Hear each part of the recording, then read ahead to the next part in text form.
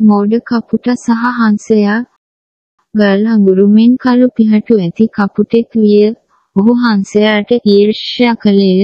මන්ද හංසයගේ පිහාටු පිරිසිදුයි හිම මෙන් සුදුය. මේ මෝඩ කපුටට මෝඩ අදහසක් ඇති විය.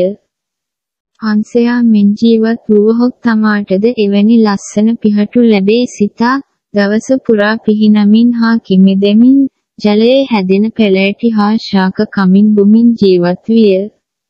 එබැවින් ඔහු තම නිවස හැර වනාන්තරයේ සහ කෙත්වල විසුවේය. ගෝවල සහ වගුරු බිම්වල ජීවත් වීමට පියාසර කළාය. තවද ඔහු දවස පුරා තම සිරුර සේදුවේය. නමුත් කපුටගේ පිහාටු වෙනදා මෙන් කළු විය.